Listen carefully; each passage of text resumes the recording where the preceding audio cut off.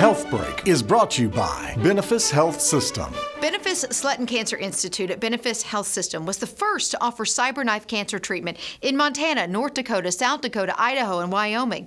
Dr. Jeffrey Stephenson explains that the name itself, cyberknife, is confusing. So many patients do uh, ask, is it a surgical procedure? Are you going to cut on me uh, with the cyber knife? So we have to explain to them that it is, it is a radiation tool, but it's very precise. And what it does is it goes around the tumor and there'll be 90 different shots of radiation from 90 different angles. So in that way, all of these radiation beams intersect right on the cancer so we can give basically two or three weeks of Monday through Friday radiation in one day. And the good thing about that is those super high doses on the cancer do a much better job of killing the tumor, killing the cancer, than um, giving it once a day for three weeks. The physicians at Benefis Health System strive to keep patients' lives as normal as possible while they are receiving treatment. People have lives here, and I think we are finding that, you know, it, if we can make it as convenient for the patient as possible,